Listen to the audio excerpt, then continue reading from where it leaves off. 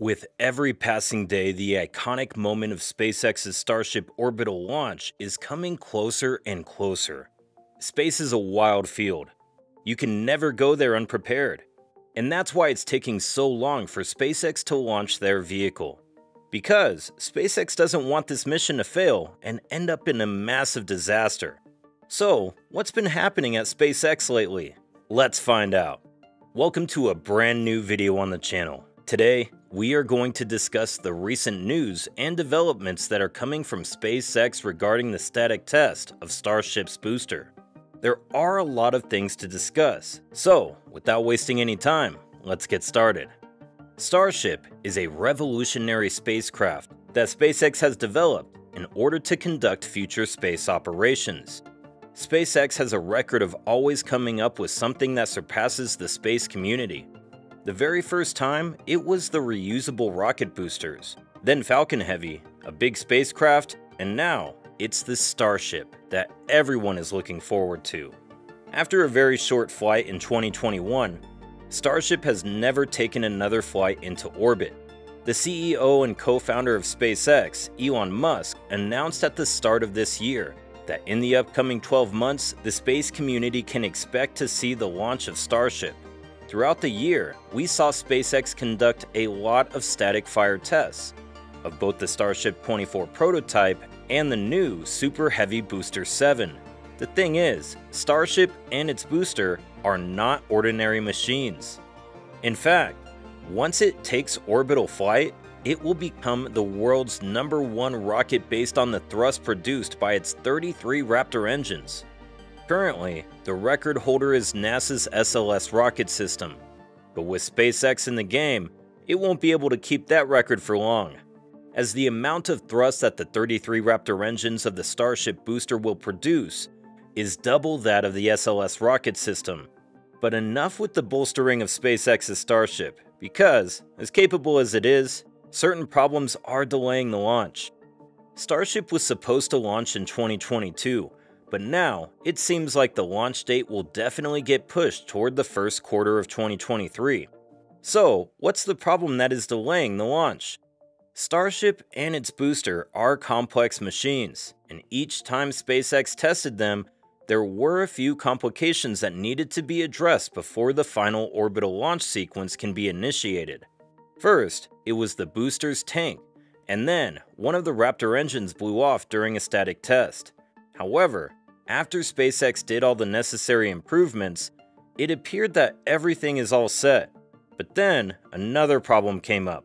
And this time, it wasn't either the booster or the Starship.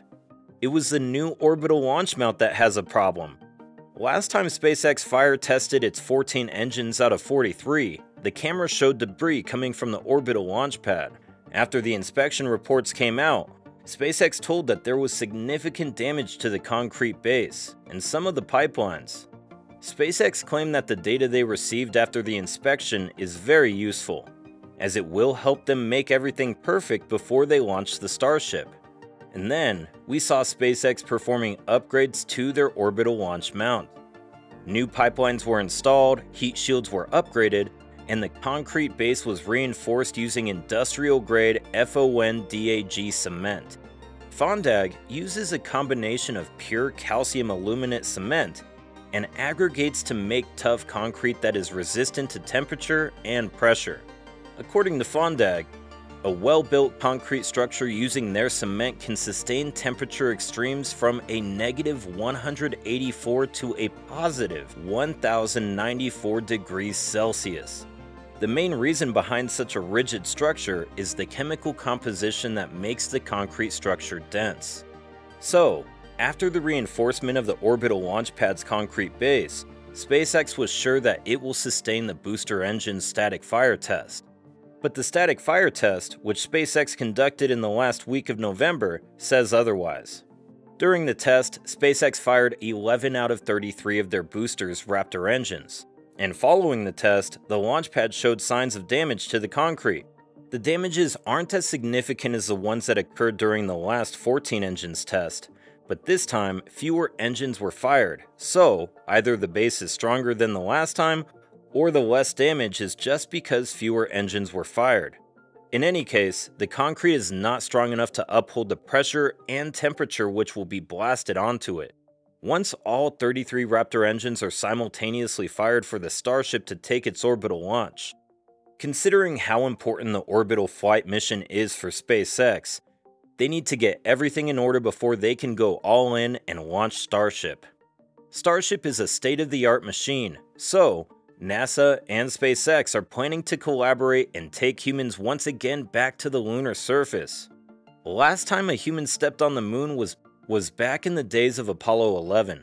The Artemis 1 vessel that NASA launched last month has the same mission, and that's where Starship comes in.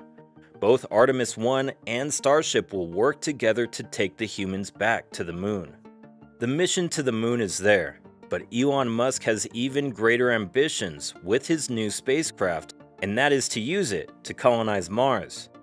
To be honest, SpaceX has produced their spacecraft keeping in mind their greater ambition, and once the Starship orbital flight is successful, it won't take long for humanity to reach Mars. Even the new capture landing system prepared by SpaceX is in line with the mission to accommodate the quick launch of Starship. With capture landing, once the booster gets its job done and releases Starship into orbit, it will come back, and after restacking and refueling, it will be launched. SpaceX has estimated that it will take a gap of just one hour between the two launches with this system. It still needs testing, but with the high-tech software on board and the movable chopstick arms from Mechazilla, chances are that SpaceX will be successful in making it work. So, basically, the only problem that we have for now is the concrete base that isn't holding up. In other cases, a fire trench and water basin system are used to launch such big rockets. However, in the case of Starship, the launch site is near a natural reserve, so the authorities aren't allowing them to use the traditional launch pad system. So, to get rid of the issue, SpaceX developed its own orbital launch mount. It's all good, and is a good enough mount to hold and launch the rocket. The only problem is the concrete base. Last time, when they tested 14 booster engines, some pipelines were ruptured, but during the recent test with 11 engines, and the heat shields installed, they worked perfectly. So, it all comes down to how quickly SpaceX gets rid of the concrete problem, and we get to witness the historic moment of Starship and Super Heavy's launch.